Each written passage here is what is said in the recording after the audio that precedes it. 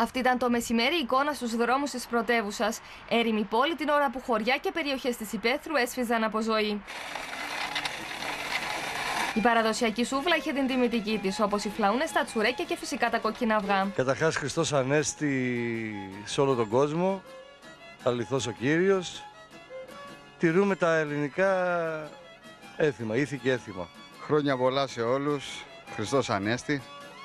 Σήμερα όπως και όλοι τιμάμε τα ελληνικά παραδοσιακά έθιμα. Αρνάκι, μπυρίτσα και καλή μουσική και πάνω απ' όλα η καλή παρέα.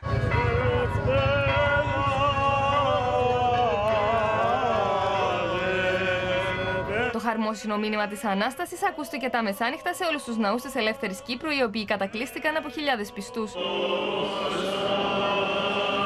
Σε κλίμα ευλάβειας και κατάνοιξης στελεστική η λειτουργία της Αναστάσεως με τους απανταχού Ορθοδόξους να γιορτάζουν την νίκη του Χριστού της αιώνια ζωής επί του θανάτου.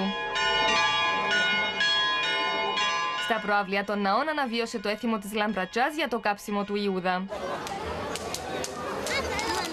Σύμφωνα με την αστυνομία, δεν υπήρξαν τραυματισμοί από κροτίδες και βεγγαλικά. Για δεύτερη συνεχή χρονιά δεν έχουν καταγραφεί οι οποιοδήποτε τραυματισμοί.